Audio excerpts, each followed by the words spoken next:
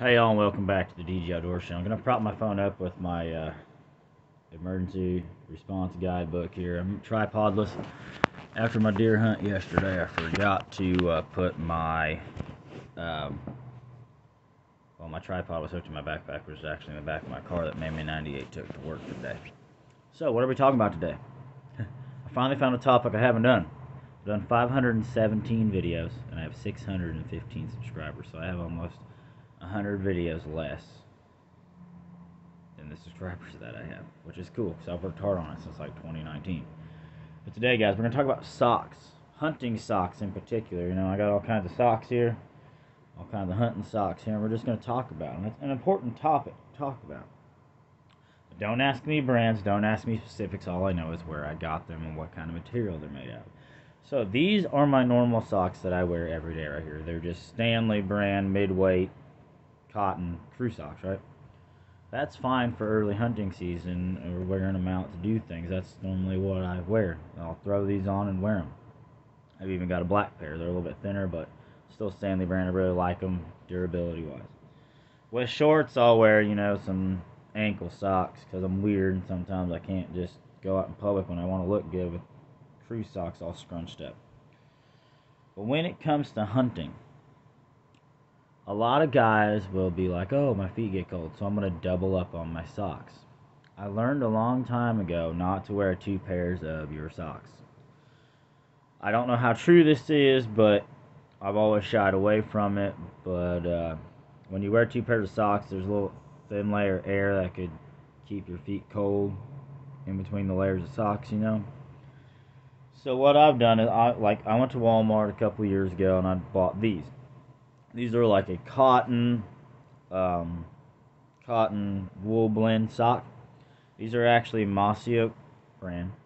I don't have the other pair that came with these. These came with an orange and black pair, I believe.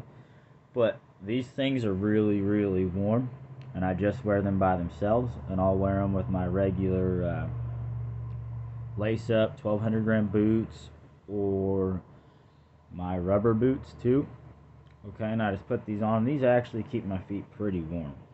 Um, I had a pair of 800 gram, uh, um, the Survivor boots from Walmart. They're 800 gram thinsulin. And my feet still got cold wearing these. But what I had to do was take a pair of hand warmers and put them down in my boots, and then my feet were extremely warm. So I like these because they're super soft. They're not rough like regular wool socks. Okay, they do say mossy oak on them.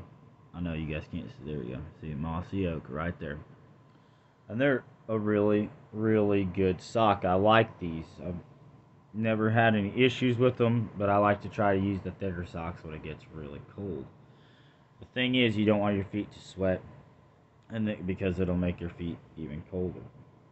And in some situations, that's really hard to do the this pair right here was given to me, and I don't remember by who, but I think it's it's like one of those monkey socks.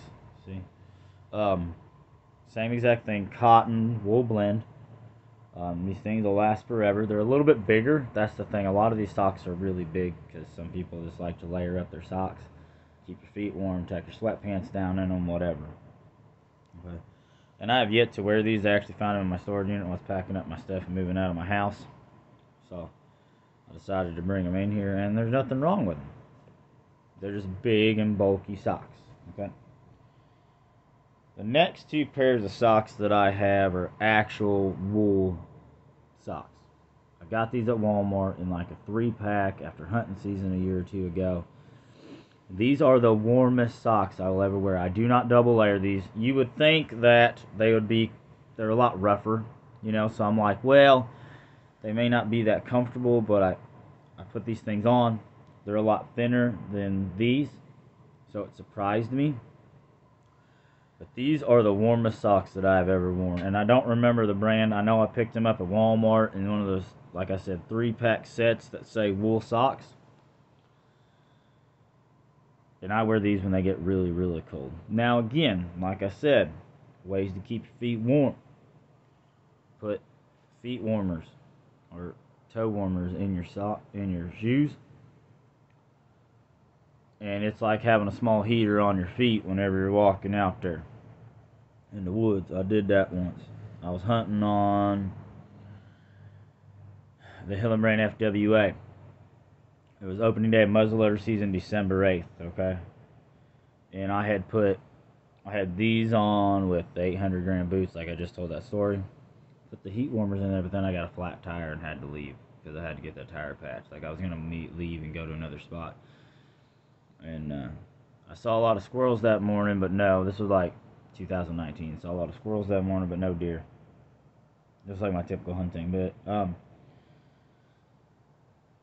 coming a dark green pair and this green and gray thing. And again, these things are rough. When I bought them, I didn't know if I'd like them very well, how comfortable they would be. And they're really not that bad of a sock. Okay. So if I was you, I'd look for a wool sock that's kind of thin, not real thick. But man, these things will trap the heat, keep you warm. Mix them with a pair of insulated boots, and you should be good to go. Should be good to go. Another thing I do when I get a brand new pair of boots, which I have the, uh, I think Itasca carbine boot. I think is what I have. Um, I saturate that thing in waterproof spray and then I take tint seam sealer and I go over every single stitch on that boot as if I was waterproofing a tent.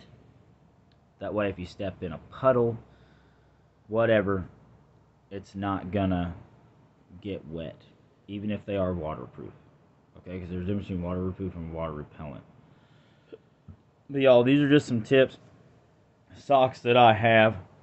I may go pick me up a couple more. Oh, yeah. Dollar Tree sells Realtree brand boot socks.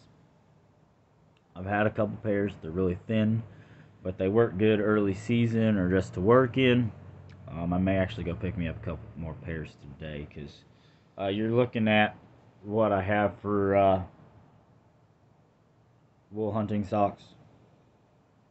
And I'm real bad because I may wear these hunting and then not wash them and throw them on again because I don't ever wear them anywhere else. But hey, whatever.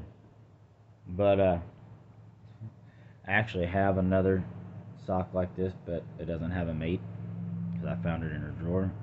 And oh yeah, what made me 98 wears socks right here is little girly socks. Little soft one, keeps you warm, whatever. But uh, they even have little grip pads on the bottom. But yeah, guys, uh, just get you some feet warmers, insulated boots. And I'm telling you, throw on a couple pairs of these thick socks, and I don't think your feet will get cold. Don't double layer your socks. I never have. But y'all remember, like, comment, subscribe. Jesus loves you. And I'll see you guys on the next one. Thanks for watching.